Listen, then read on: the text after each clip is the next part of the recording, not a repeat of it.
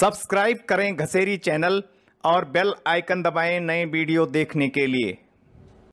अद्भुत, अद्वितीय, अनुपम, अनोखा, अपरितम, विलक्षण देवताओं का प्रिय और उत्तराखंड का राज्य पुष्प अगर आप ब्रह्म कमल की तारीफ़ में कुछ लिखना चाहेंगे तो विशेषण कम पड़ जाएँगे। यह एक ऐसा पुष्प है जो साल में केवल एक बार खिलता है। एक ऐसा पुष्प जो अपनी विरादरी के अन्य फूलों से विपरीत सूर्यास्त के बाद खिलकर अपने सौंदर्य और सुगंध से पूरे वातावरण को मदहोश कर देता है। एक बेहद दुर्लभ पुष्प जो देवताओं को भी प्रिय है। तो घसेरी में आज हम उत्तराखंड के इस राज्य पुष्प ब्रह्म कमल की बात करते हैं। पहले जानते हैं इस फूल के बारे में और बाद में बात करेंगे इससे जुड़ी धार्मिक मान्यताओं, कहानियों और इसके औषधीय गुणों के बारे में। ब्रह्म कमल हिमालय में फूलों का राजा है, क्योंकि भारत में इसकी जो इकसठ प्रजातियाँ पाई जाती हैं, उनमें से अकेली अट्ठावन हिमालय में मिलती हैं। हिमालय के अलावा यह फूल उत्तरी म्यामा और दक्षिण पश्चिम चीन में भी पाया जाता है। उत्तराखंड में यह फूल कई स्थानों पर मिलता है, लेकिन फूलों की घाटी केदारनाथ, हेमकुंड, रूपकुंड, पिंडारी, चिफला आदि जगहों पर आप आसानी से इस दिव्य फूल के दर्शन कर सकते हैं। एक और महत्वपूर्ण बात यह है कि भले ही यह कमल की तरह दिखता है, लेकिन पानी में नहीं, बल्कि ज़मीन पर उगता है। अमूमन ब्रह्म कमल 3000 से 5000 मीटर की ऊंचाई पर मिलता है। इसे कई अन्य नामों से भी जाना जाता है। जैसे कि हिमाचल प्रदेश में दूधा फूल कश्मीर में गलगल, श्रीलंका में कदू फूल और जापान में गेका विजिन, जिसका शाब्दिक अर्थ है चांदनी रात की खूबसूरत स्त्री। चीन में इसे तान हुआ इजियान कहते हैं। जिसका अर्थ है प्रभावशाली लेकिन कम समय तक ख्याति रखने वाला।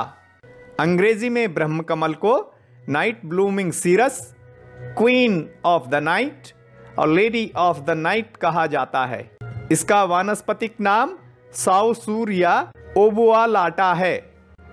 वैसे कुछ लोग यह भी दावा करते हैं कि रात में खिलने वाला ऑर्किड कैक्टस प्रजाति का फूल जिसका नाम इप्पी फीलम ऑक्सीपेटालम है, वह असल में ब्रह्म कमल है। इप्पी फीलम ऑक्सीपेटालम फूल भी रात में खिलते हैं और आप इन्हें घरों में भी उगा सकते हैं।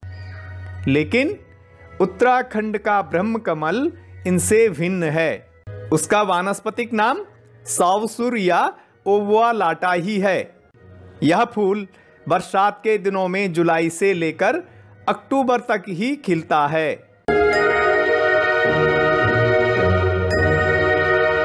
अब बात करते हैं ब्रह्म कमल से जुड़ी धार्मिक मान्यताओं की।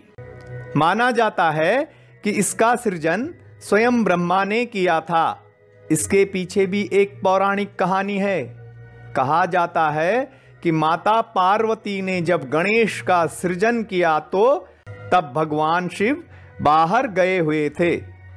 माता पार्वती स्नान कर रही थी और उन्होंने गणेश को घर के बाहर खड़ा करके आदेश दिया था कि वह किसी को अंदर नहीं आने दें।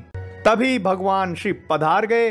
गणेश ने उन्हें अंदर नहीं जाने दिया और क्रोध में शिव ने उनका सिर धड़ से अलग कर दिया।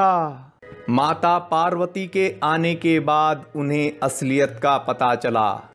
माता पार्वती के आग्रह पर ब्रह्मा ने ब्रह्म कमल का सृजन किया, जिसकी मदद से हाथी का सिर गणेश के धड़ पर जोड़ा गया।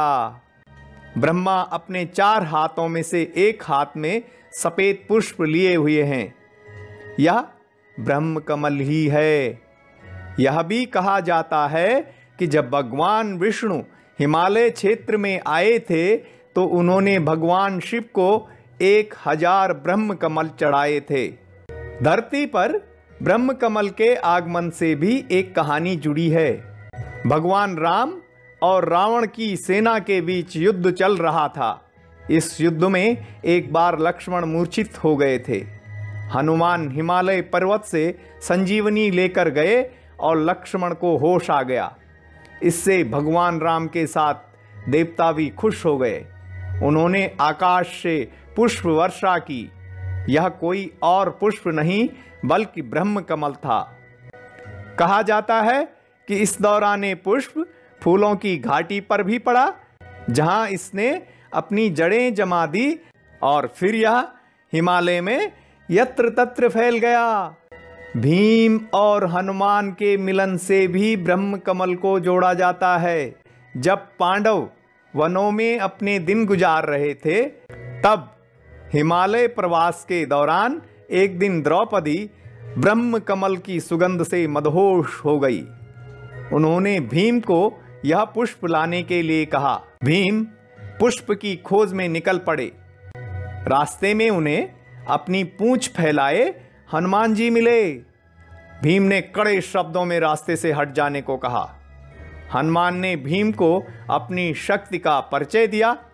तब भीम को अपनी गलती का एहसास हुआ तो हनुमान जी ने उन्हें बताया कि ब्रह्म कमल बद्रीनाथ में मिलेगा। ब्रह्म कमल साल में एक बार और वह भी रात में चंद घंटों के लिए खिलता है। कहा जाता है कि जो भी व्यक्ति इसे खिलता हुआ देखता है, उसकी मनोकामना पूरी होती है। कहने का मतलब है कि ब्रह्म कमल को खिलता हुआ देखना बेहद पुण्य माना जाता है। बद्रीनाथ और केदारनाथ सहित उत्तराखंड के कई मंदिरों में इस फूल को चढ़ाने का बड़ा महत्व माना जाता है। इससे ब्रह्म कमल के अस्तित्व पर भी खतरा मंडरा रहा है, क्योंकि चढ़ावे के लिए इसका बद्रीनाथ और केदारनाथ क्षेत्र में अंधाधुंध दोहन किया जाता है। हेमकुंड साहिब में भी इसका दोहन हो रहा है।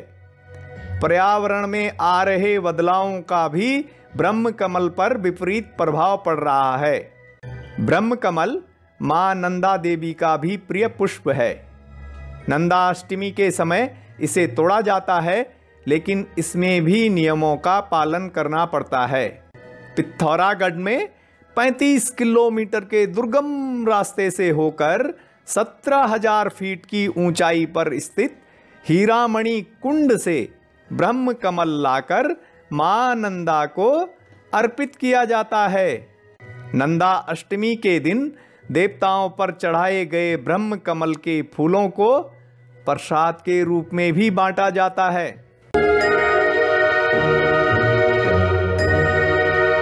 अब हम प्रवेश करते हैं ब्रह्म कमल से जुड़ी इस अद्भुत जानकारी के तीसरे चरण में और बात करते हैं ब्रह्म कमल के औषधीय गुणों की। ब्रह्म कमल औषधीय गुणों से भी भरपूर है। ब्रह्म कमल के अंदर से निकलने वाले पानी को अमृत कहा जाता है, क्योंकि इसके सेवन से व्यक्ति एकदम से स्फूर्त हो जाता है और उसकी थकान मिट जाती है। ब्रह्म कमल के फूलों की राख को शहद के साथ मिलाकर खाने से यकृत की वृद्धि रोकने में मदद मिलती है। ब्रह्म कमल को मिर्गी के दौरे रोकने में भी सहायक माना जाता है और घाव भरने में भी इससे मदद मिलती है। इसे जीवाणुरोधी माना जाता है और इसका इस्तेमाल सर्दी जुकाम, हड्डी के दर्द आदि में भी किया जाता है। ब्रह्म कमल को कपड़ों के बीच डालकर भी रखा जाता है। इसकी सुगंध से कपड़े महकते रहते हैं और उन पर कीड़े भी नहीं लगते। मूत्र संबंधी रोगों में भी इसका उपयोग किया जाता है।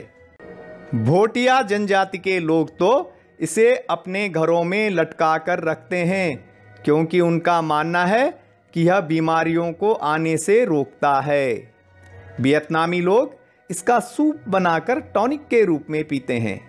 तिब्बती लोग इसका उपयोग लकवा और दिमागी रोगों के लिए करते हैं। यह जलोदर रोग को दूर करने में भी उपयोगी है। यह थी ब्रह्म कमल के बारे में जानकारी। आपको कैसी लगी? ज़रूर बताएँ और लाइक व शेयर करना नहीं भूलें। इसके साथ ही एक आग्रह भी है। ब्रह्म कमल को देवताओं को अर्पित करिए, लेकिन इसकी सीमा तय होनी चाहिए। अगर इसको बचाए रखने के प्रयास नहीं किए गए तो उत्तराखंड का राज्य पुष्प विलुप्त होने की कगार पर पहुँच सकता है। तब आप इसे देवकोप कहेंगे। लेकिन इसके लिए बचाव के उपाय अभी से शुरू कर देने चाहिए।